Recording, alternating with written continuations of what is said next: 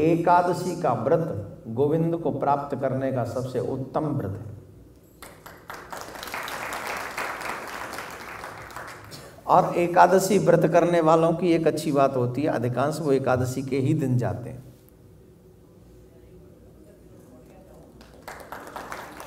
सबकी नहीं, जिन्होंने एकादशी व्रत थोड़े अधिक अच्छे ढंग से रही हो। और जो जीव एकादशी के दिन जाता है बिना एनी डाउट आपको ये कंफर्म होना चाहिए कि आप जिस इष्ट को, जिस आराध्य को मानते हो, आप डायरेक्ट उसी के पास जाते हो। अगर एकादशी के दिन आप शरीर छोड़ दें। तो ये बहुत बड़ा सत्य है।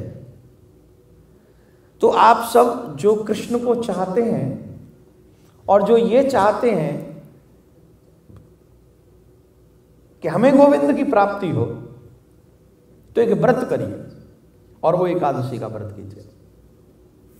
गोविंद को पाने का मन से कीजिए।